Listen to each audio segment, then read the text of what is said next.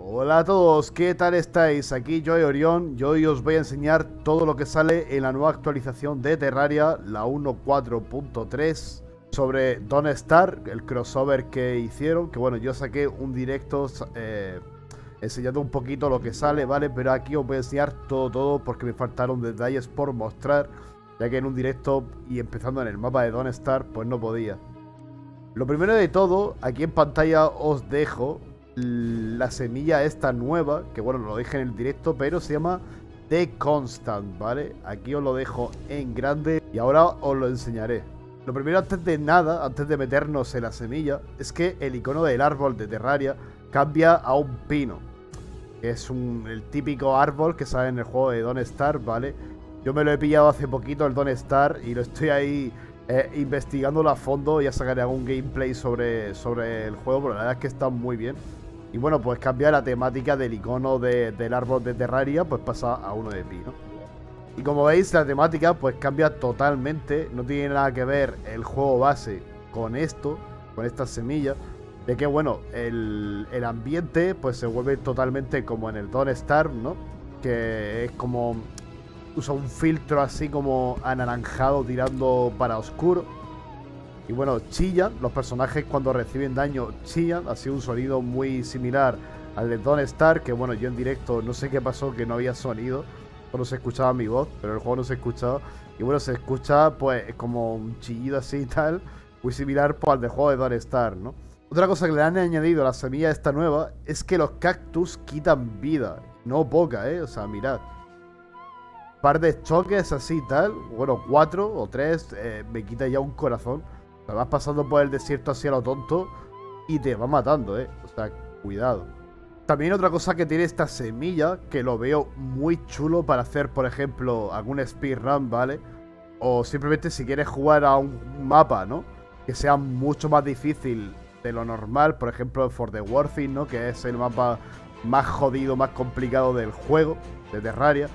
Pues el mapa este de Don't Star, la semilla, pues la verdad es que tampoco es tan fácil, porque cuando se hace de noche, que se va a hacer ya de noche, si estamos en la oscuridad, eh, las sombras, o sea, hay como un ser ahí en la sombra y tal, y nos mata, o sea, literalmente, como no tengamos luz, estamos muy, muy jodidos, lo voy a enseñar ahora.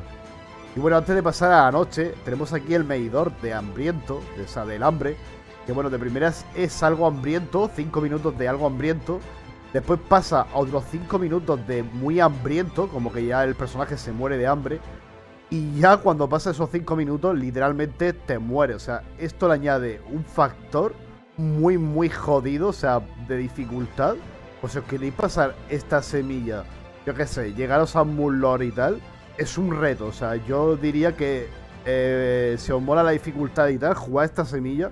Y yo qué sé, os podéis probar a pasaros el juego en esta nueva semilla, en esta nueva set y tal. Y está ya muy bien, ¿eh? Porque tenéis que controlar el hambre, tenéis que controlar la oscuridad, no chocaros con cactus y tal. O sea, está muy, muy guay, ¿eh? Ya os digo yo que merece mucho la pena eh, probarlo por lo menos, porque es como algo muy nuevo, ¿sabes? No es lo habitual de, de jugar al Terraria. Aquí como podéis ver ya me ha salido el mensaje de de que me acecha algo y como habéis podido ver, me ha desintegrado al instante. Algo en la oscuridad ha matado a Willow. La ha evaporado, pobrecita. Como jefes tenemos al Dirk Club, que bueno, es el único jefe que hay de Don't Star aquí en Terraria. Pero el combate está muy interesante, ahí os dejo arriba lo que hace falta para invocarlo. Y eh, mientras que no estemos lejos del enemigo, no se vuelve invencible. O sea, si estamos a más de 30 cuadros, creo que son, 30 bloques, se vuelve invencible.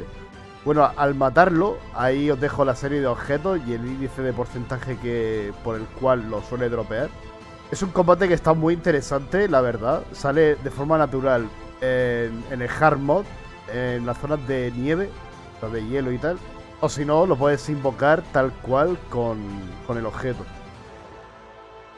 Y bien, aquí tenemos el personaje de Willow, que la verdad es que es clavado. Y bueno, si os preguntáis cómo podemos conseguir la ropa de ella y la de Wilson también, que ahora os enseñaré a Wilson, lo que tenéis que hacer es hablar con la estilista, decirle lo de estilo de peinado, que queréis cambiarlo. Y aquí tenéis los distintos peinados. Aquí tenéis el de Wilson, ¿vale? el de Willow y aquí el de Wendy. Para que veáis la skin de Wilson, pues bueno, os dejo aquí la muestra de cómo se ve, que la verdad es que está bastante chulo, ¿eh? O sea, mola mucho la idea de que te crees a Wilson, a Willow o a Wendy y juegues al mundo, a la semilla esta de Don't Star, ya que le da como un toque así muy, muy chulo, ¿no? Como que estás jugando a Don't Star nada más que al Terraria. La estilista también nos puede vender la barba esta de caballero. Que bueno, la barba esta yo creo que es de un personaje de Don Star, ¿vale? Que es un, es un leñador. O también creo que puede ser la barba porque en el Don Star, conforme van pasando los días, al personaje, bueno, a todos los personajes, a no ser que sea mujer, pues le crece la barba. Entonces te tienes que recortar la barba en el juego, tal. Para la ropa lo que tenemos que hacer es pillar 40 de seda y así podemos hacer la falda en el telar, por supuesto, y también la sudadera de pedernal. Para Wilson puede ser lo mismo, 20 de seda y 20 de seda por aquí, para los pantalones.